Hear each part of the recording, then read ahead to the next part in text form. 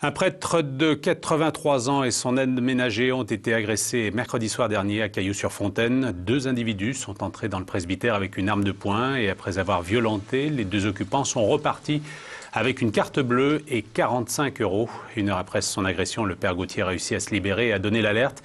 Il a été hospitalisé. Nous avons réussi à avoir de ces nouvelles grâce au père Grillon qui témoigne.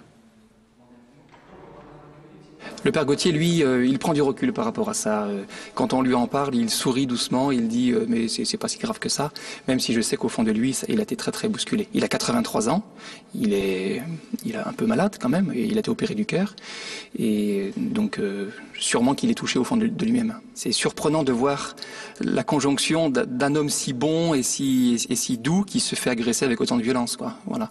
Donc on est tous très surpris et tristes que ça puisse arriver un appel à témoins est lancé euh, par la brigade des recherches de Bron en charge de l'enquête.